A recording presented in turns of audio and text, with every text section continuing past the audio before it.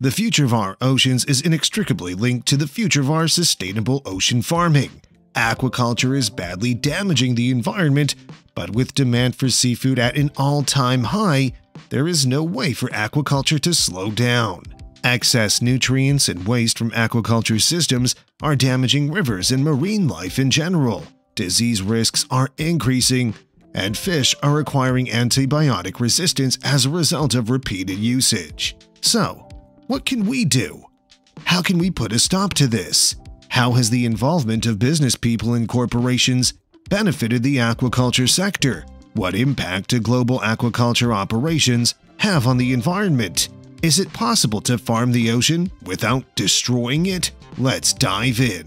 Aquaculture is becoming more important in the fight against food insecurity, since per capita fish consumption has risen over the previous six decades. A primary goal of recent technological developments has been the enhancement of efficiency and longevity while also addressing issues of quality. In 2021, venture capitalists invested $39 billion in food technology startups, more than doubling the amount seen in 2020. While the majority of this funding went to online supermarkets and marketplaces, several startups working on modern aquaculture technology also hope to gain from the increased interest of financial backers. Vertical Oceans, for example, received $3.5 million in seed round last year from US-based venture capital fund Khosla Ventures, possibly marking the first time a major Silicon Valley fund has invested in an aquaculture startup. In Singapore, Vertical Oceans has set up a proof-of-concept facility where shrimp are being raised in tanks the size of school buses. Stacking these modern tanks in urban areas would allow for water recycling and would help with supply chain and pollution issues. Many farms that raise Atlantic salmon have also relocated further offshore in an effort to improve their chances of survival. Atlantic Sapphire's land-based operation in Miami aspires to provide 20% of the U.S. salmon market. The firm uses renewable energy to power its operations and draws its water supply from the same aquifer that supplies Miami's drinking water in order to reduce its carbon footprint. In 2020, 56% of all aquatic food for human consumption was from aquaculture. In 2018, Asia was responsible for 90% of worldwide aquaculture output, mostly due to China's output of 66.1 million metric tons. Following China and India, Indonesia produced 14.7 million metric tons, then India produced 7 million metric tons, then Vietnam produced 3.5 million metric tons. Seaweed, oysters, and freshwater carp are some of the most important products of aquaculture in Asia. These are known as low trophic because they feed mostly on plankton, making them more cost-effective and less damaging to the ecosystem than their carnivorous counterparts.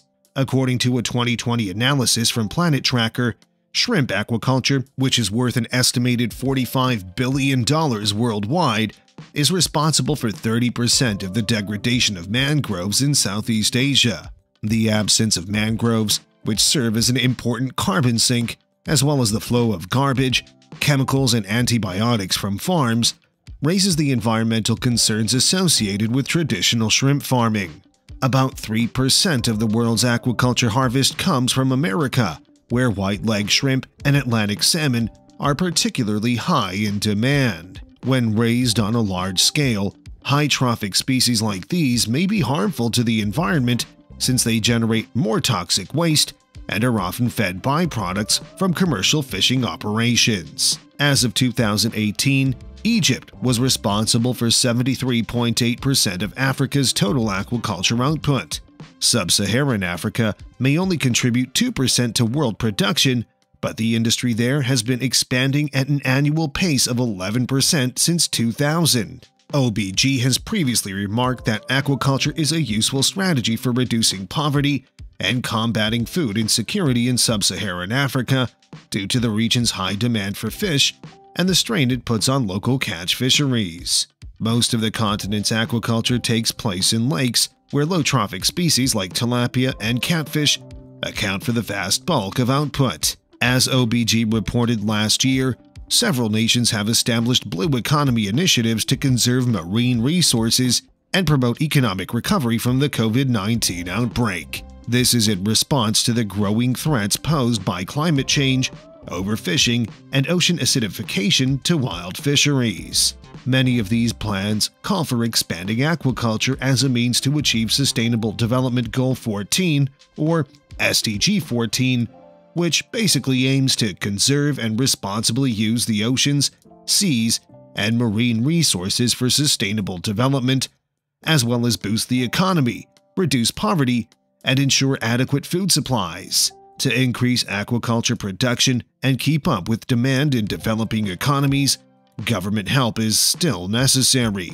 Subsidies shifted from sea fishing to aquaculture can also promote long-term growth while discouraging overfishing at the same time. Salmon aquaculture businesses in Norway are being pushed into less environmentally damaging offshore facilities because water leases are more costly than land leases. Genetically modified farm tilapia, for instance, has greater resilience to illness and is responsible for an 18 to 58% increase in output at farms in Bangladesh and China, where disease control efforts are focused. Four African countries, including Ghana, Kenya, Malawi, and Zambia, have also launched breeding programs to create disease-resistant fish strains native to their respective regions.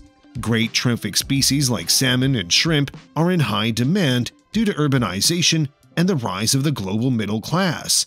But regardless, they still contribute to waste and are fed trash fish from capture fisheries, placing further strain on wild fish populations.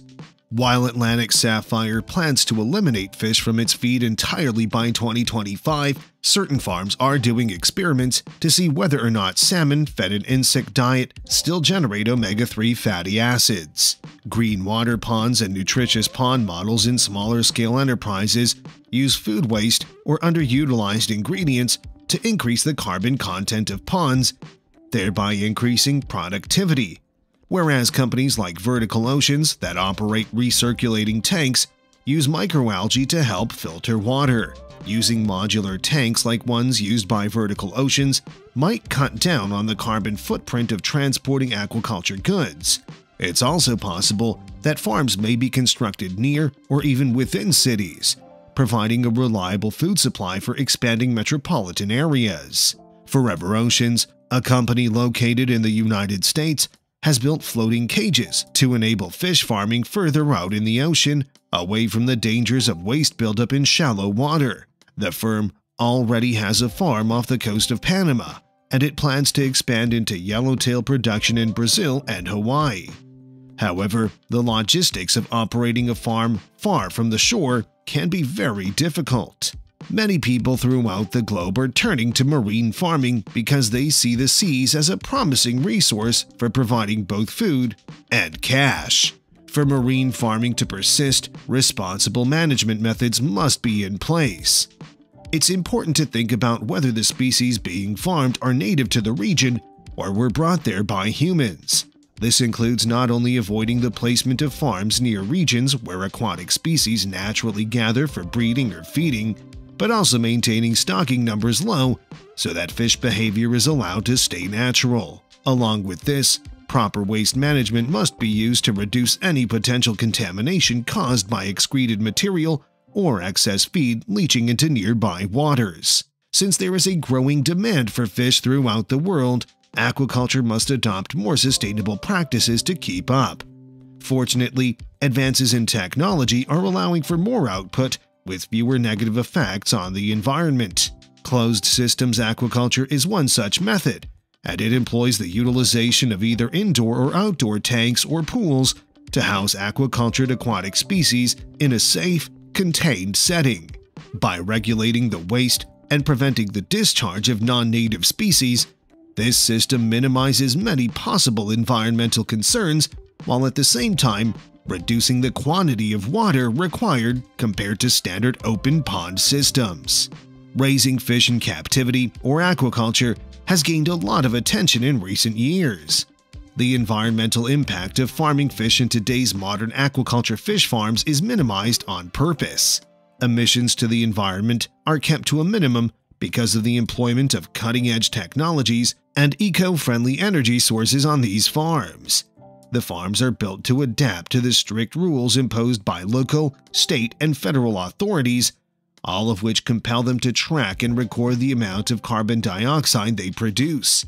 To further lessen their impact on the environment, several aquaculture businesses have even included renewable energy resources like solar-powered pumps and wind turbines. When compared to conventional fishing techniques, the environmental impact of modern fish farming is minimal. They're more efficient, produce more fish, and have less of an impact on the environment. Along with this, fish in today's fish farms are in good health because of the clean water and balanced nutrition they get. However, this does not mean that all environmental risks associated with modern fish farming have been eliminated. Research is still being conducted to ensure sustainable practices.